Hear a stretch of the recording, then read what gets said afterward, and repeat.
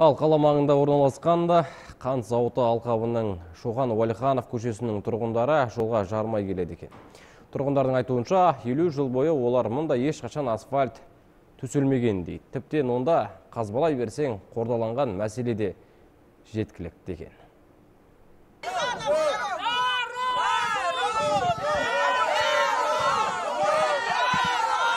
Шоқан Уәлиханов көшесі мен оның бес көшесінде 400-ге жуық отбасы тұрады.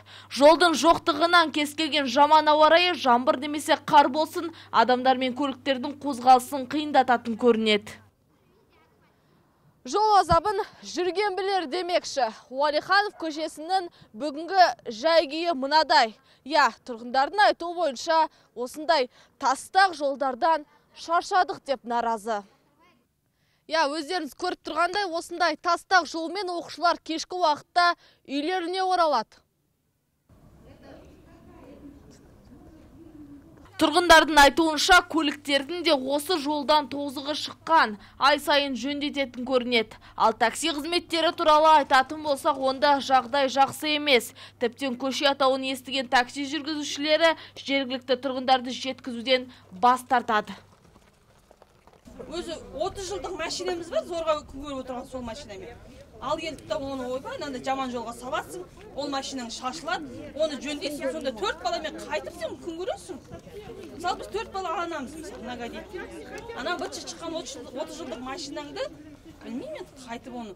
Өздері келіп бір күн жүріп көрсінші машинасын көтеріп жаяу жүреді потому что оның машинасы жалко бізге келмейді такси келмейді не такси келмейді такси шақырсаң кірмейді да даже мынау трассаның бойынан тастап кетеді сосын келгенің егіз балаңды құшақтап больницада не басқа жақта тіптен мұнда өрт сөндіру және жедел жәрдем көлігінің келуінің өзі бір жыр.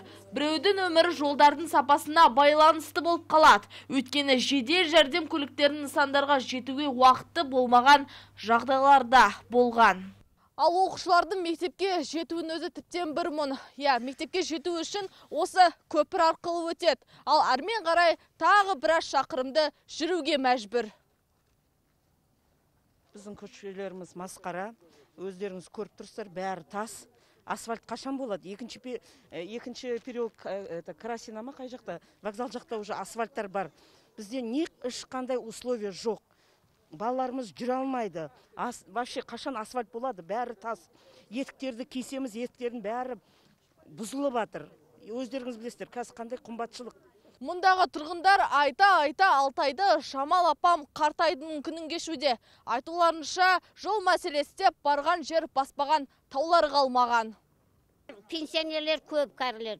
Давление біреу құлап қалады магазинге де бара алмаймыз скорый келмейді берге келмейміз дейді таксилер келмейді бір нәрсені шақырсақ келмейді себебі жол жаман дейді ана мектептен суске дейін істеген асфальт а бері қарай свет жоқ освещение жоқ вообще свет жоқ балалар бәрі қорқады а қазір көріп тұрсыздар ғой балаларды ұрлап жатыр балаларды не істеп жатыр адамды өлтіріп кетіп жатыр а қалай халық күн көреді өздерінің креслоларында отырады да обещать етеді обещать етеді түк істеп жатқан түктері жоқ. Жердің бәрі лай белшемізден батып соны кешіп өткіздік. Енді мінекей немерелерімізді сөйтіп жатырмыз.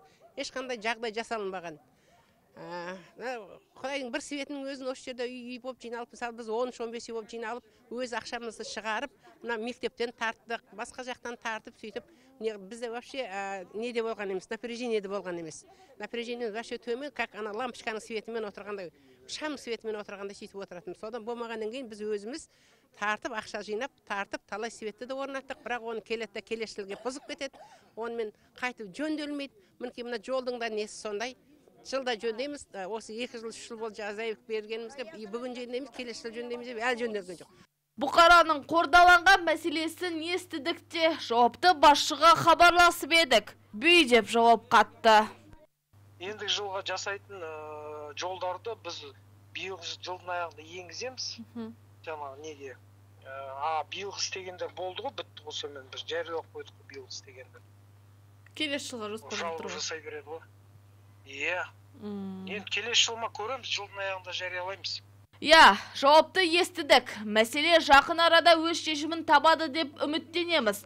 Ал қалалық әкімдік өкілдері тыңдаушы үкімет талап еткендей барлық қажетті түсіндіру жұмыстарын жүргізеді деген сенім мол. Диана Орынбасар, Ермек Кеншімбек, Жамбыл Ньюс.